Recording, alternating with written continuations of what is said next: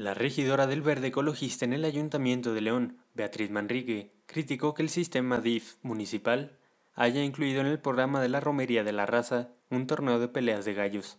Durante la sesión de ayuntamiento celebrada ayer, la edil cuestionó las razones por las cuales el municipio de León organiza una pelea de gallos meses después de que el propio Cabildo aprobó negar la entrada a menores de 14 años a este tipo de espectáculos, incluidas las corridas de toros. Eh, pues yo reitero mi extrañamiento, ¿no?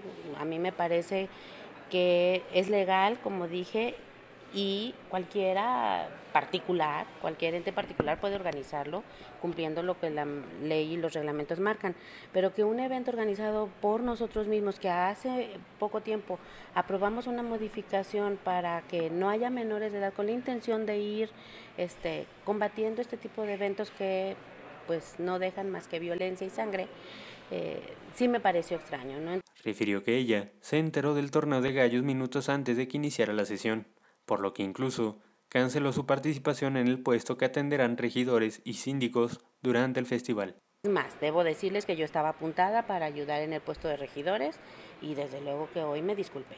Pero yo no puedo estar presente en un evento en donde se va a llevar un espectáculo que estamos combatiendo. Manrique Guevara señaló que es necesario que las dependencias y paramunicipales que integran el gobierno municipal se dirijan de acuerdo a los ideales que la actual administración plantea.